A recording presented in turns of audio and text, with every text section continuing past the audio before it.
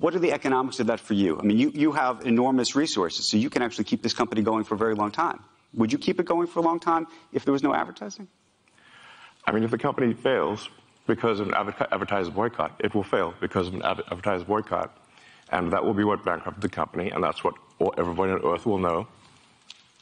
What do you think then of the? Again, this goes back to the idea of trust, though. Then it'll I, be gone, and it'll be gone because of an advertiser boycott. But but you recognize that some of those people are going to say that they didn't feel comfortable on the platform, and I, I wonder. I just wonder and ask you and think about that for a Tell second. Tell it to the judge. But the, but the judge is going to be. Uh, the judge is the public.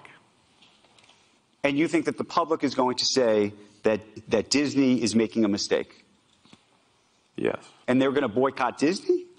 They already are.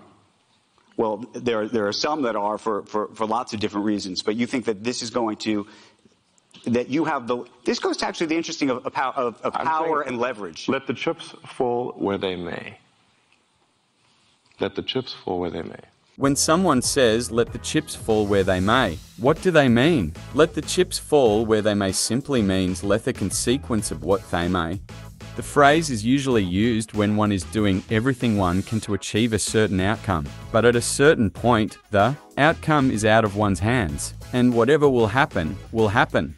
Let the chips fall where they may is an American idiom that came into use in the late 1800s and refers to wood chips scattering as one chops wood. The image is of one concentrating on the work at hand, not on the inconsequential chips of wood.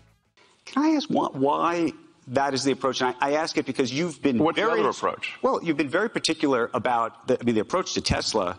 Uh, when you think about the engineering involved in that, the approach to SpaceX, the approach to um, some of the stuff you're doing with, with AI has been very specific, right? There's not a let, let the chips fall where they may approach to those businesses, I don't think. No, we focus on making the best products. And, and, and Tesla's gotten to where it's gotten with no advertising at all.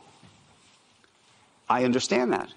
Tesla currently sells uh, two, twice as much uh, in terms of electric vehicles as the rest of uh, electric car makers in, in the United States combined. Tesla has done more to help the environment than uh, all other companies combined.